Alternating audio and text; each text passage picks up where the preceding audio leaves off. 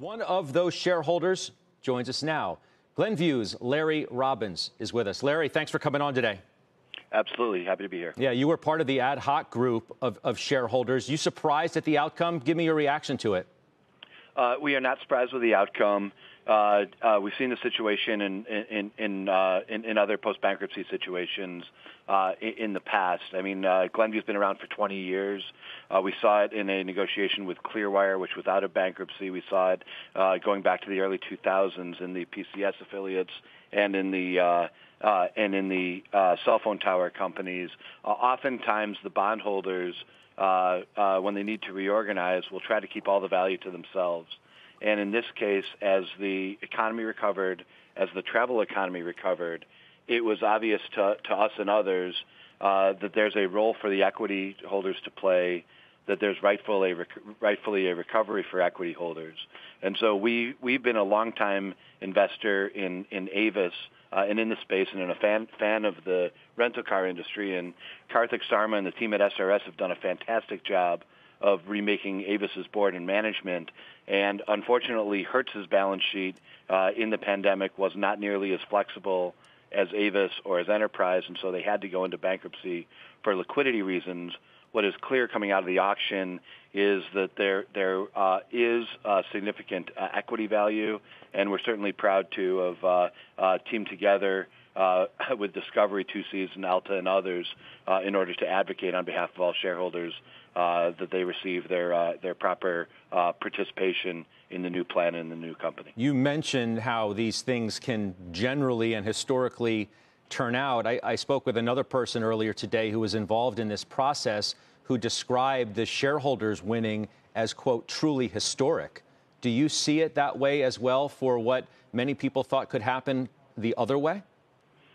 Uh, uh, I, I, think that uh, we, we, were a little bit taken aback that the uh, advisors to to Hertz seem to prioritize speed over fairness.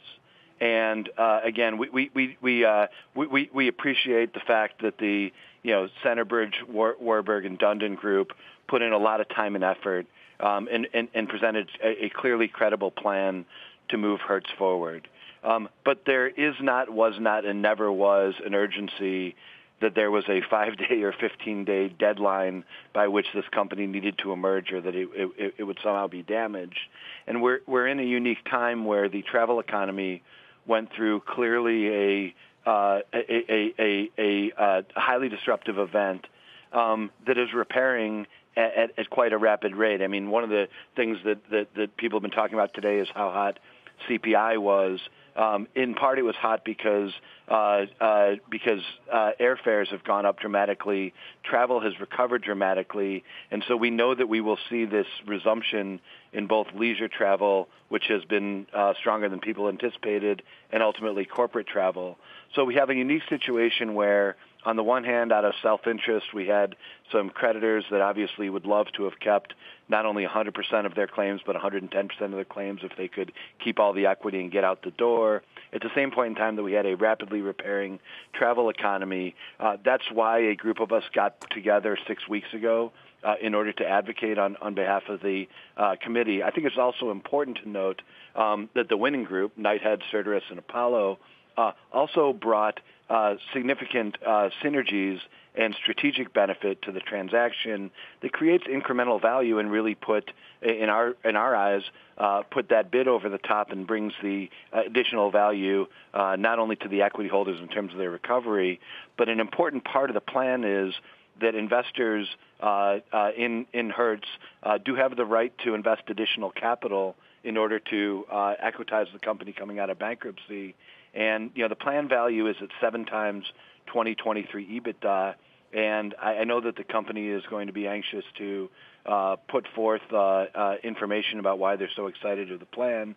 Our own work uh, does indicate that there's probably some upside and basis for optimism to that plan, and therefore uh, it, it, was uh, uh certainly uh, our pleasure uh, to be able to commit to the billion six rights offering. We committed uh, uh, a significant amount of money to, to that rights offering, uh, but also it'll be to, to determined as to how the other uh, equity holders want to select their value between warrants or the right uh, to put up additional capital in New Hertz.